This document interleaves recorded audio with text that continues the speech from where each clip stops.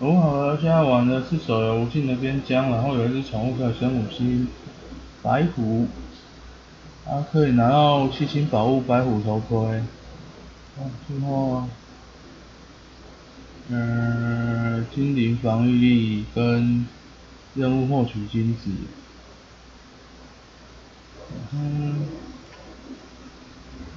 然后它是减冷却时间的第三次。一二三，徽章头盔，然后这个碎片有时候在信件拿得到，还有在精灵高原高级的一之五四之二，然后还有秘密商店。重新整理也可以拿得到。OK，那操作就这样啦。